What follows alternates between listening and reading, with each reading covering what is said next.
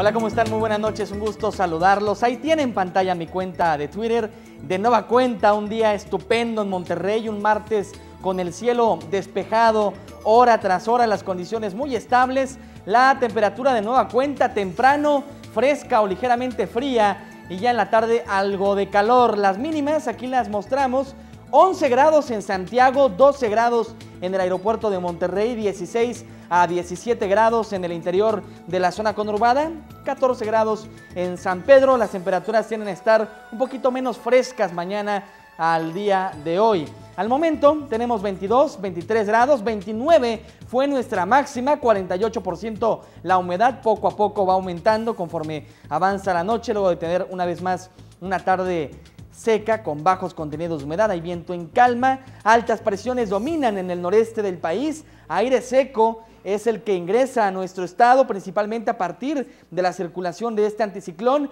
que ha empujado al Frente Frío número 4, actualmente ya prácticamente sobre la península de Yucatán, generando actividad de lluvias, tormentas eléctricas y viento del norte en el litoral del sur del país, el área de Veracruz, Campeche y la península de Yucatán. Este frente va a seguir avanzando mientras vemos otro tanto de aguaceros y tronadas hacia la mitad sur del país, desde el occidente y hasta el istmo de Tehuantepec. Hay una perturbación tropical frente a las costas de Michoacán, Guerrero y Oaxaca, 20% ahorita en dos días, en estos en este corto plazo, pero a largo plazo hay 80% de que se intensifica ciclón, así que lo estamos monitoreando, va a avanzar hacia el oeste, noroeste, tal vez paralelo a las costas nacionales, quizá un poco lejos de la costa, pero sí va a impulsar humedad hacia el interior del país, pero por esa alta presión, esas lluvias se quedan al sur de nosotros. Mañana y el jueves, tiempo muy estable, tal vez incremente la humedad hacia el litoral de Tamaulipas y de Texas. El desarrollo de aguaceros no se descarta al norte de nosotros, pero más tarde en la semana, ya sábado y domingo, se pueden incrementar las posibilidades de lluvia aquí en Nuevo León, ya le explicaré. Mañana en el noreste, domina el cielo medio nublado en Tamaulipas, soleado en Coahuila, las mínimas pues haciéndonos sentir fresco temprano por la tarde entre 29 y 32 grados centígrados, algo de calor por la tarde pero con humedad en incremento. Aquí en Monterrey, miércoles con un amanecer otra vez fresco,